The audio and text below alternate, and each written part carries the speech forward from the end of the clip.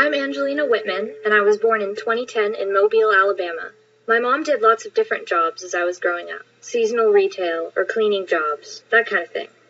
I had a learning fitness instructor once who said I had post traumatic stress disorder and that talking and moving were my response to anxiety. She gave me some tranquilizers.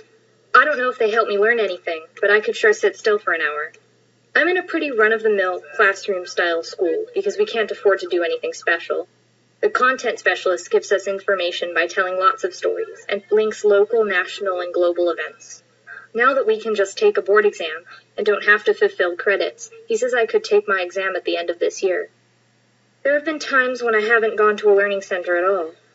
I've missed out on learning certain things and I feel as though I can never catch up.